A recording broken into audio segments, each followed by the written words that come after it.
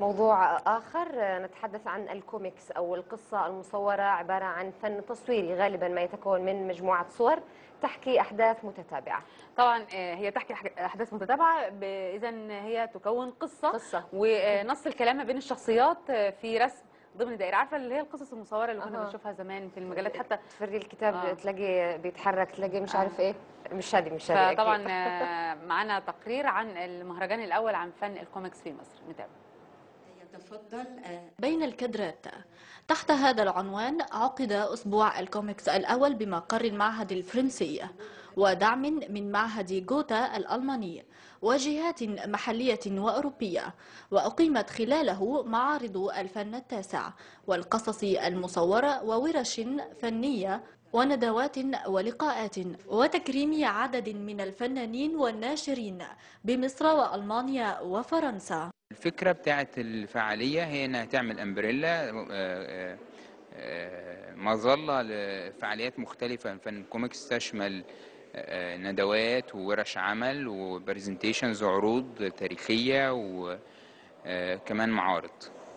فن الكوميكس موجود في مصر من سنين طويلة.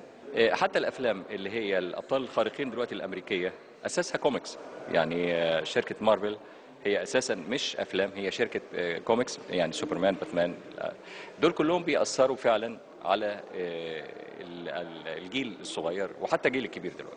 شهد الافتتاح عرضا للمشهد التاريخي لفنون الكوميكس في الدول الثلاث مصر وألمانيا وفرنسا. بدأ بمصر من خلال فيلم قصير يظهر فيه تاريخ الفن التاسع الذي يعود إلى عام 1870 Oui, c'est la première fois que je viens en Égypte et je suis très أعمل في متحف بان ديسيني في فرنسا وهذه أول مرة أزور فيها مصر وأنا مسرور للغاية بهذه الزيارة. هناك تاريخ طويل بين البلدين يمتد إلى فترة نابليون بونابرت. هذه الفترة كانت إلهاما كبيرا للعديد من الفنانين والرسامين لما عرف باسم لوحات المستشرقين. ربما تأتي الفرصة لرسامي الكوميكس أن يعرفهم الجماهير بعد هذا المهرجان الأول لفنهم. نهى راضي الغد العربي القاهرة. حاجة تزعل والله إنه كل إبداع أو كل إضافة لمجال جديد آه، يشهره هو مجال إحنا محتاجينه. آه، ما بتلاقيش دعم. أكبر سؤال بيحطم بيحطم أي معنويات فيها إبداع. الدعم والتمويل آه، اللي ممكن تقف يعني عائق فعلا أمام انتشار أي إبداع. خلينا نشوف